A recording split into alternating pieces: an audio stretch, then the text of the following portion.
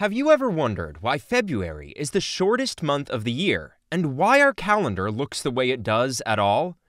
To understand this, let's go back to 46 BC, when the calendar as we know it today was invented by Julius Caesar, who was the Roman dictator at the time.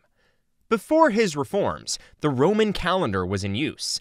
It was based on lunar cycles and consisted of 10 months totaling 304 days, which caused it to fall out of sync with the solar year. This discrepancy led to irregularities in seasons and agricultural practices, prompting the need for adjustments to keep the calendar aligned with the natural cycle of seasons. Julius Caesar consulted with various experts and astronomers, including the Greek astronomer Sosigenes, to create the Julian calendar.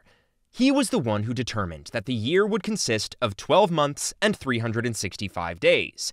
Since the total number of days in the year doesn't divide evenly, and since he was born in the seventh month, and since the Romans believed that even numbers bring bad luck, he decided that his month, and actually all the odd numbered months, such as January, March, May, and so forth, would have 31 days, while the even numbered months, like April, June, August, and so on, would have 30 days.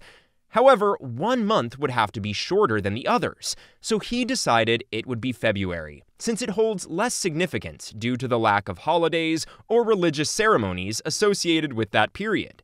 He also added leap years to better synchronize the calendar with the solar year, which made February have 29 days in a regular year and 30 days in a leap year. Before Julius Caesar's time, the month of July was known as Quintilis in Latin, meaning the fifth month in the Roman calendar.